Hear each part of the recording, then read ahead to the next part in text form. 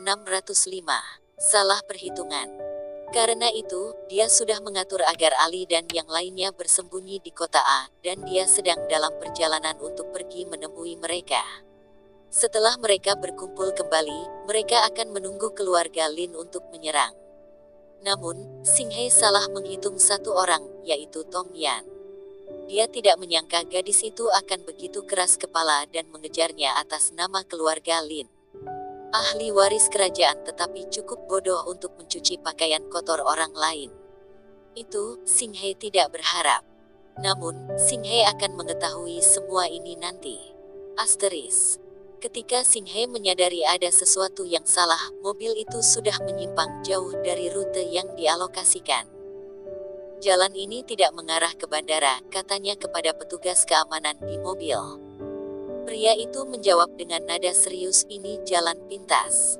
Nona Sia, jangan khawatir, kami akan mengirim Anda ke bandara dengan aman. Sing He merasa curiga tetapi dia tidak menyuarakannya. Bagaimanapun ini adalah orang-orang Nyonya Presiden, dia tidak punya alasan untuk melukainya. Namun, mobil itu semakin melenceng ke pedesaan. Rumah presiden sudah cukup terisolasi, jauh dari kota tetapi bahkan setelah sekian lama, masih belum ada jejak aktivitas manusia di sekitar mereka. Kecurigaan Sing He bertambah besar ada yang tidak beres. Ketika dia berusaha diam-diam mengirim pesan SOS, dia ditemukan oleh keamanan terlatih. Nona Sia, aku menyarankan kau untuk meletakkan teleponmu. Jangan khawatir, kami tidak akan menyakitimu, kata petugas keamanan dengan pandangan tajam. Sing He tidak terkejut dan bertanya dengan tenang, apa yang sedang kau lakukan? Keamanan terkesan dengan reaksi tenangnya. Wanita ini memang berkarakter.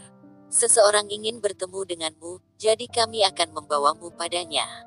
Siapa wanita itu? Kau akan segera tahu. Sing He bisa mencoba tebakannya sendiri. Itu entah keluarga Lin atau Tong Yan, hanya saja mereka cukup kuat untuk membeli keamanan.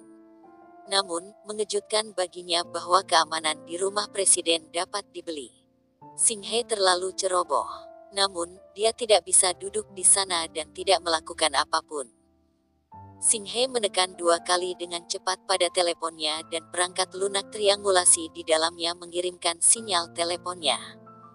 Pihak keamanan mengira wanita itu akan melanggar peringatannya dan membuat panggilan tetapi ketika pihak keamanan melihat bahwa dia hanya menyentuhnya, dia tidak melakukan apa-apa. Mobil itu segera tiba di tempat tujuan. Selain mobil yang diparkir, tidak ada yang lain selain alam. Petugas keamanan berhenti dan memberitahu Sing He, Nona Sia, kau bisa keluar sekarang. Mobil di sana akan mengantarmu ke bandara. Sing He menatap keamanan dengan dingin. Apakah kau dengan tulus berpikir aku akan mencapai bandara dalam keadaan utuh? Keamanan sangat terkejut. Tentu saja. Kau akan membayar mahal untuk kebodohanmu. Saat Sing He berkata begitu, pintu itu terbuka. Dua pria berpakaian hitam menyeret Sing He keluar dari mobil dengan kasar dan menjepit telapak tangan mereka di atas mulutnya. Keamanan sangat terkejut, ini berbeda dari yang mereka katakan padanya. Pria itu bergegas membantu Sing He tetapi salah satu pria menahannya dan melemparkannya sebuah telepon. Bos ingin berbicara denganmu, jika kau memiliki pertanyaan, kau dapat menanyakannya langsung.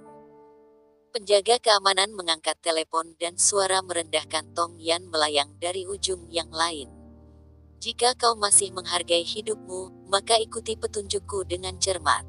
Ingatlah, setelah Xia Xinghe turun dari mobilmu, dia menghilang dari pandanganmu dan kau tidak tahu ke mana dia pergi.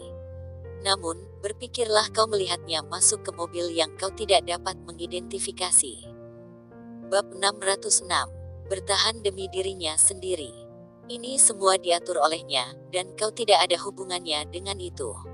Apakah kau mengerti? Nona Tong, mengapa kau melakukan ini? Kau baru saja memberitahuku. Siapa yang akan menanyaiku? Jika kau tidak mengikuti perintahku, tidak ada yang dapat menjamin apa yang akan terjadi padamu. Bagaimanapun, kau harus tahu bahwa aku di atas hukum, kata Tong Yan puas dan itu dinginkan keamanan. Pada saat itu, dia mengingat kata-kata terakhir Sing He kepadanya.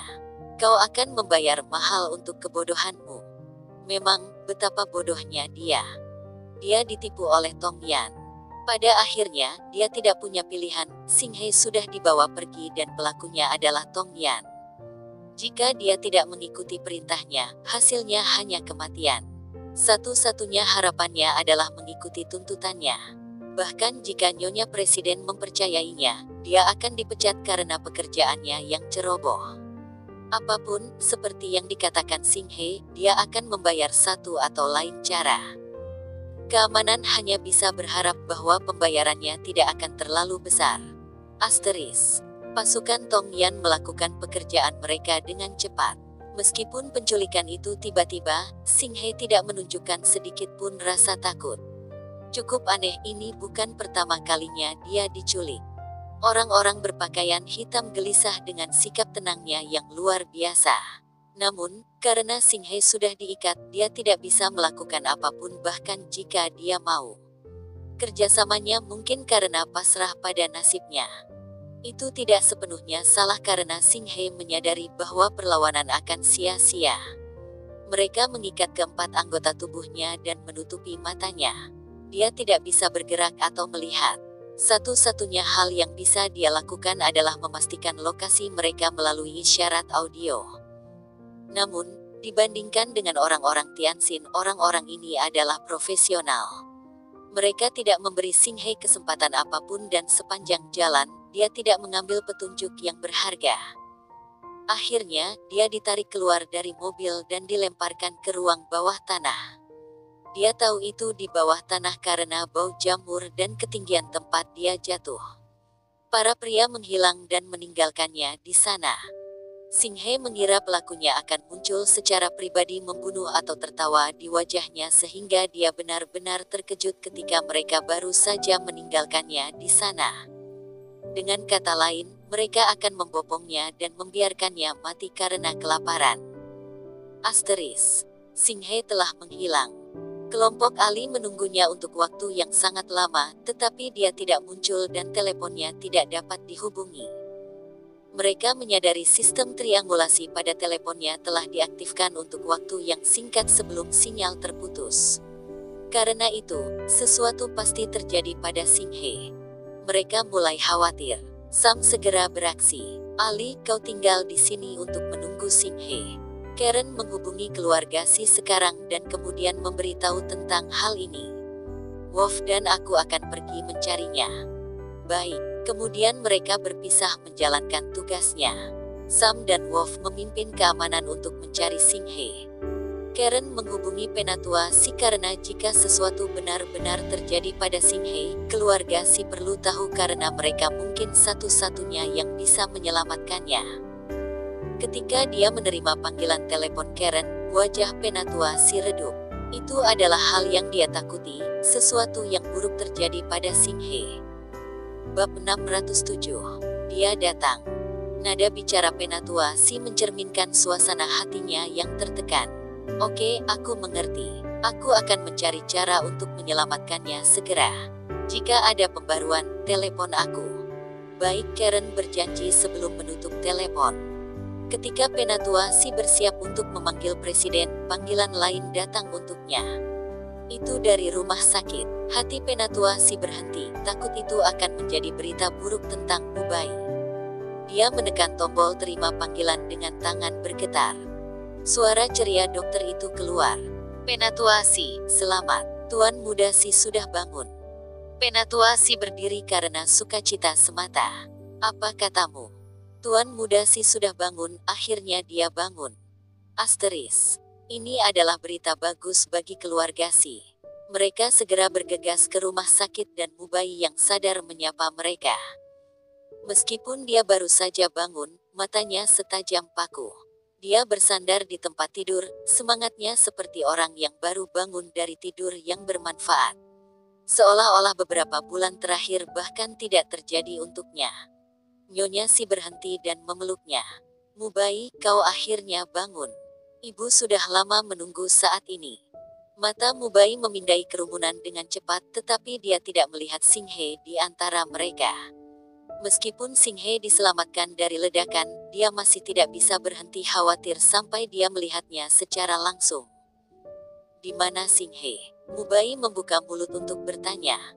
Penatua si berkata dengan susah payah, sejak kau bangun, maka kau memiliki hak untuk tahu. Beberapa saat yang lalu, sesuatu terjadi padanya. Mata Mubai melebar dan nadanya turun beberapa derajat. Kakek, apa yang kau katakan? Mubai, banyak hal terjadi ketika kau keluar dari itu. Penatua si memberitahu Mubai tentang semua perkembangan terakhir. Setelah selesai, dia menghela nafas. Tidak ada yang bisa kita lakukan selain membiarkannya pergi ke kota A saja. Kami tidak berpikir dia akan tiba-tiba menghilang seperti ini. Kami menduga dia telah diculik, tetapi jangan khawatir, aku sudah menghubungi presiden dan dia telah berjanji untuk mengirim anak buahnya untuk pergi mencarinya. Meski begitu, Mubai tidak bisa mengistirahatkan jantungnya yang berdetak kencang. Dia duduk dan menarik selimut. Nyonya Si menghentikannya segera. Mubai, apa yang kau lakukan? Pergi ke kota A. Mubai menjawab dengan tekad kuat. Ini mengejutkan semua orang di sana. Kau tidak bisa melakukan itu. Kau baru saja bangun, kau tidak bisa terlalu banyak menekan tubuhmu begitu cepat. Kami akan mencari cara untuk menyelesaikan masalah Singhe, kau hanya perlu tetap diam, Penatua Si menasihatinya. Mata gelap Mubai bertemu dengan Penatua Si dan kata-kata keras ini keluar dari mulutnya, kakek kau sendiri telah mengatakan sesuatu yang buruk telah terjadi padanya, jadi bagaimana kau bisa mengharapkanku duduk diam di rumah sakit ini? Aku harus pergi ke kota A. Aku tidak akan membiarkan apa pun terjadi padanya atau memberikanku kembali kehidupan ini akan sia-sia. Apa? Penatuasi dan yang lainnya tercengang tanpa kata-kata. Jika sesuatu terjadi pada Singhe, Mubai juga akan menyerahkan hidup barunya. Mereka akhirnya memahami keyakinannya dan tidak menghentikannya lagi. Mubai memanggil jet pribadi dan terbang ke kota A. Singhe tidak tahu Mubai akan datang, dia masih berjuang untuk menemukan cara demi menyelamatkan dirinya sendiri. Keluarga Lin tidak tahu Mubai akan datang juga. Badai akan mengamuk di kota A. Namun, tidak diketahui siapa yang akan tetap tinggal ketika awan-awan menghilang dan siapa yang akan menghilang dalam badai. Bab 608 Mencari Sia Singhe Meskipun Penatua si telah pensiun, Presiden masih menghargai kontribusinya. Selain itu, Singhe adalah insinyur di balik jantung mekanis, sehingga kepergiannya menjadi prioritas utama Presiden. Dia telah memerintahkan semua anak buahnya untuk pergi mencarinya. Tidak hanya itu, banyak orang lain juga membantu pencarian. Kelompok Sam sedang mencarinya. Keluarga Gu dan keluarga Yan juga mencarinya. Keluarga Guli dan Yan Lu keduanya berbasis di kota A. Ketika mereka mendengar kabar buruk dari Munan, mereka segera menjangkau rumah mereka untuk meminta bantuan. Bahkan dunia bisnis di kota A keluar dan mencari Singhe, ini adalah pengaruh Mubai. Dengan kata lain, seluruh kota A sedang mencari Singhe. Tong Yan tidak berharap bahwa seluruh kota akan dimobilisasi hanya karena Singhe telah menghilang selama setengah hari. Bahkan Lucky mengirim anak buahnya untuk membantu pencarian. Skala penyelamatan pencarian tidak membuat Tong Yan merasa tidak nyaman, malah dia kesal. Siapa wanita sederhana ini yang pantas mendapatkan perhatian banyak orang? Di dunia ini, tidak ada wanita yang diizinkan untuk mengatasinya. Ini menguatkan tekad Tong Yan agar Sing He mati kelaparan. Lagi pula, dia disegel dari dunia dan selama keamanan tidak mengatakan apa-apa tidak ada yang akan menemukan Singhe. Satu minggu kemudian, setelah Singhe meninggal, semuanya akan terlambat. Mengenai konsekuensi untuk membunuh Singhe, Tong Yan sama sekali tidak khawatir. Dia yakin bahwa tidak ada yang bisa menghakiminya, karena keluarga Sen dan keluarga Tong akan melakukan segalanya untuk menyelamatkannya. Kematian Xia Xinghe akan ditutup-tutupi dan tidak ada yang akan menemukan kebenaran. Bagaimanapun, Tong Yan dibesarkan dalam kehidupan di mana kesalahan tidak memiliki konsekuensi serius. Dia adalah putri yang berharga dari seluruh dunia, tidak ada yang bisa menghakiminya. Dia beberapa level di atas semua orang. jelas tidak ada yang akan menyalahkannya bahkan jika mereka tahu dia bertanggung jawab atas kematian seorang wanita biasa seperti Xia Xinghe. Sebaliknya Tong Yan mulai membayangkan kebahagiaan di wajah Lin Xuan ketika dia tahu dia telah membantunya menghilangkan musuh yang begitu besar. Dia akan sangat menghargai bantuannya. Sama seperti masa kanak-kanak, setiap kali dia membantunya merawat orang-orang tertentu, dia akan sangat gembira dan bersedia menemaninya selama beberapa hari. Kali ini, dia akan sangat senang dengan pencapaiannya dan mungkin akan cukup senang untuk setuju menjadi pacarnya. Misi penyelamatan untuk Singhe berlanjut sementara Tong Yan tersesat dalam mimpi indahnya. Asteris namun, tidak peduli seberapa keras mereka berusaha, mereka tidak dapat menemukan jejak Singhe. Petugas keamanan ditahan. Dia bersumpah pada hidupnya bahwa Singhe meminta untuk keluar dari mobilnya dalam perjalanan ke bandara dan melompat ke mobil lain. Karena itu, dia juga tidak tahu ke mana dia pergi. Beberapa interogasi selanjutnya dan kesaksiannya masih sama. Dia tidak berani mengatakan yang sebenarnya, karena jika dia melakukannya, dia akan memiliki kematian Singhe di tangannya. Mereka tidak akan menghukum Tong Yan dan dia akan menjadi kambing hitam yang sempurna.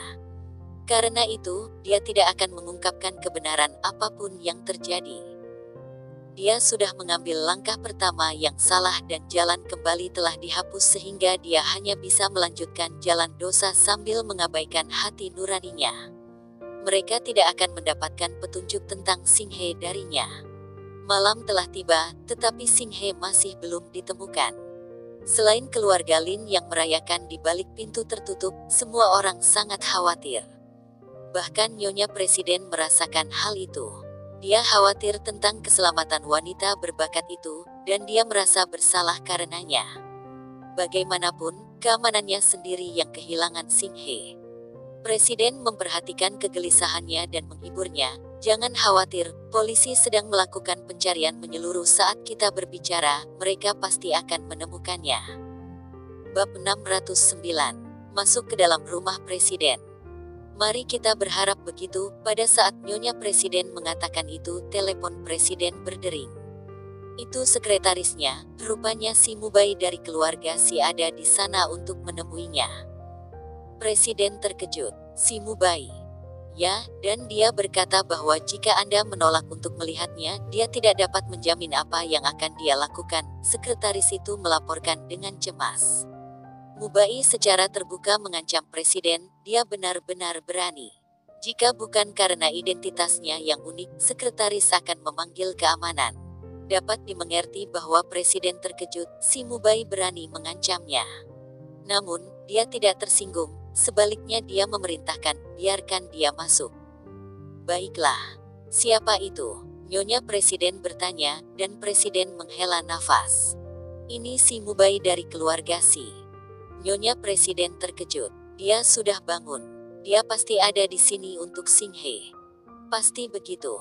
Mubai dengan cepat dipimpin oleh pihak keamanan. Dia datang sendirian dan di kursi roda, didorong ke dalam ruangan oleh petugas keamanan, di belakangnya ada sepuluh penjaga keamanan. Mereka takut dia akan melakukan sesuatu yang bodoh. Mubai tidak terpengaruh oleh peningkatan keamanan, ekspresinya tenang dan kehadirannya kuat. Presiden dan istrinya menghela nafas ketika mereka melihatnya. Pemuda ini benar-benar memiliki keberanian dan semangat untuk berani masuk ke rumah presiden sendirian. Mubai menyapa mereka dengan tenang dan berkata, maaf ini bukan maksudku untuk mengganggu tetapi tunanganku telah menghilang setelah dia tiba di sini, jadi aku agak khawatir. Presiden mengangguk penuh pengertian. Aku bisa mengerti perasaanmu, tetapi kau seharusnya tidak menerobos masuk ke sini tanpa undangan. Kali ini, aku akan memaafkanmu atas rasa hormatku kepada kakekmu, tetapi itu lebih baik tidak terjadi lagi. Jangan khawatir, selama Singhe aman, aku tidak akan melakukan apa-apa, jawab Mubai dengan acuh tak acuh. Presiden dan istrinya terkejut. Dengan kata lain, jika sesuatu terjadi pada Singhe, dia akan melakukan sesuatu untuk menyakiti mereka. Si Mubai, apakah kau mengerti siapa yang kau ancam? Presiden mempertanyakan dengan serius. Mubai tidak menunjukkan tanda-tanda ketakutan. Dia menyeringai. Aku tahu betul apa yang aku lakukan oleh karena itu Tuan Presiden aku harap kau dapat menemukan Singhe segera. Aku hanya punya satu permintaan, dia harus kembali dengan selamat. Kami juga berharap dia aman, Nyonya Presiden mengalah. Jangan khawatir, aku yakin polisi akan menemukannya segera. Tetapi masih belum ada berita meskipun setengah hari telah berlalu, Mubai menyuarakan ketidakpuasannya. Karena itu, aku datang sendiri, berharap dapat mendengar sendiri apa yang sebenarnya terjadi. Nyonya Presiden mengerti sudut pandang Mubai, jadi dikatakan padanya secara rinci semua yang terjadi. Mubai tahu ada sesuatu yang salah dengan penjaga keamanan ketika Nyonya Presiden selesai. Matanya dingin ketika dia berkata, tolong izinkan aku melihat penjaga keamanan itu, aku punya beberapa pertanyaan untuknya. Presiden dan istrinya saling memandang sebelum menyerah pada permintaannya. Petugas keamanan segera dibawa ke ruangan. Dia mulai gelisah ketika melihat presiden dan istrinya, tetapi dia menguatkan diri untuk menghadapi interogasi. Dia tidak punya pilihan selain berbohong, karena kebenaran hanya akan membawanya kepada kematian. Mubai, duduk di kursi roda, tiba-tiba bertanya dengan nada dingin, kaulah yang bertanggung jawab untuk mengantar Singhe keluar dari rumah presiden.